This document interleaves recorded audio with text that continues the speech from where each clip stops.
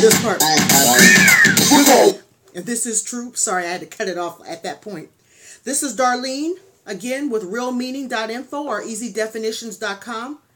We're doing another tech term today because those I have to, I feel it's my human duty to break it down because a lot of times you don't get that. And today's word is going to be cache. You guys have all heard it because you're like, it is not spelled like that. So why is it, you know, not money or anything, but C A no, yeah, C A C H E. cat. It's it's spelled like it's supposed to be pronounced cachet, but it's cash. So um, yeah, but anyway, we're gonna talk about that today. You know what it is, and I, you know how I do it. I first I I Google the term to see what everyone else has to say, and then I go to my website and I get the real and easy definition. So let's get started, mate. And I got my John Lennon's on today. All right, all right, all right. Yep. Alrighty.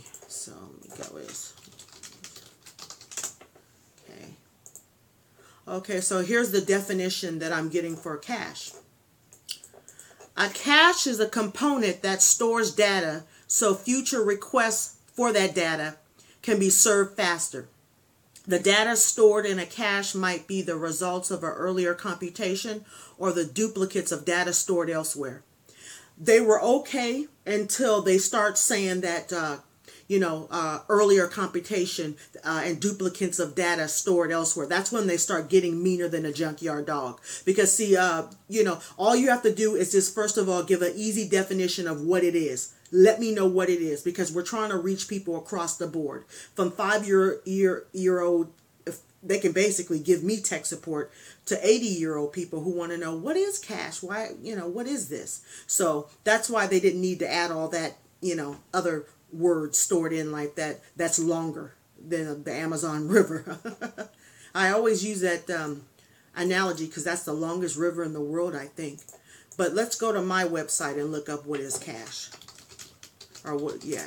You go under the computer terms and uh, C A through L because it starts with C and uh, you keep going down to the C's and you'll get cache. and this is what you'll get a cache is a section of the computer's memory that keeps files available for easier access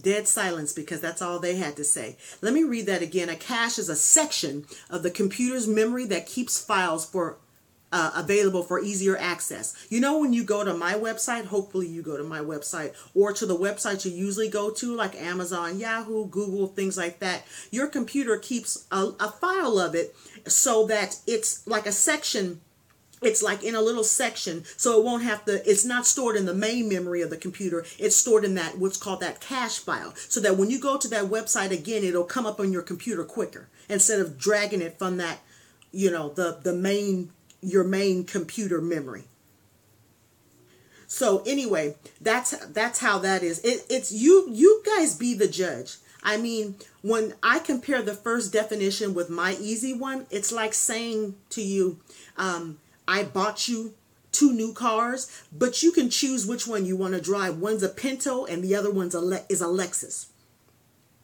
Now, which one would you choose? which one would you choose? Yeah, that's that's what I thought. I, I don't think you choose the Pinto, but the same thing with the easier definitions. So, go to my website and choose the easy one. Choose the Lexus. www.realmeaning.info. I'm Darlene. Thank you for watching. Goodbye, and thanks for watching me wear these John Lennons, mate.